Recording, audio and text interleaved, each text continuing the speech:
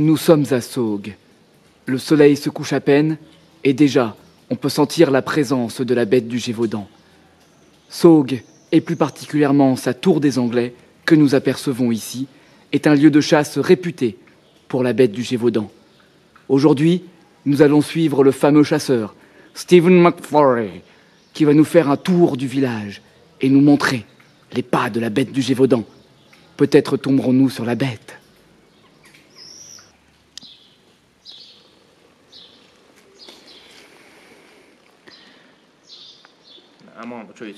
Regardez, regardez cette marque sur le sol.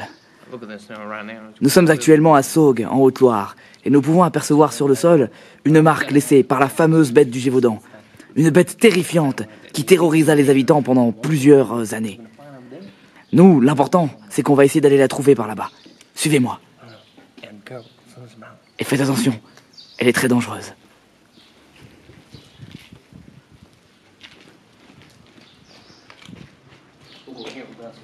On peut apercevoir désormais les traces de la fameuse batte du Gévaudan.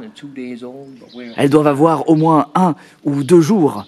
Elle n'est vraiment pas loin. Vous pouvez voir, elle marche tel un crabe afin de se rapprocher de sa proie et de l'attraper au plus profond. Mais il faut vraiment qu'elle se couche et qu'elle s'accroupisse sur le sol afin de ne pas être entendue. Seulement le bruit de ses pas. Regardez, on peut voir que les pas sont en train de continuer dans cette direction.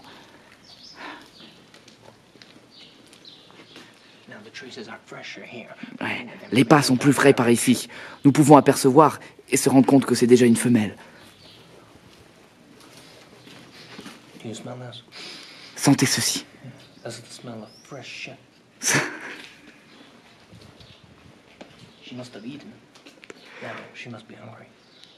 Elle doit avoir faim.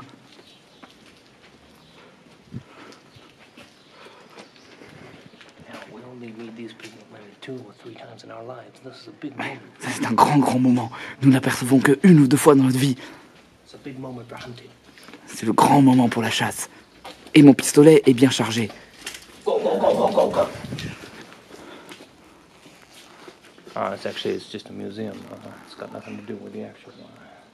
C'est juste un.